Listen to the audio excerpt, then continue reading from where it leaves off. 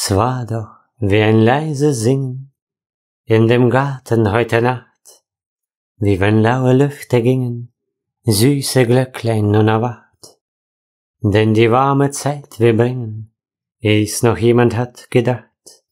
Es war kein Singen, es war ein Küssen, rührt die stillen Glöcklein sacht, da sie alle tönen müssen von der künft'gen bunten Pracht. Ach, sie konnten's nicht erwarten, aber weiß vom letzten Schnee war noch immer Feld und Garten, und sie sanken um vor wie. So schon manche Dichter streckten, sang es müde sich hinab, und der Frühling, den sie weckten, rauschet über ihrem Grab.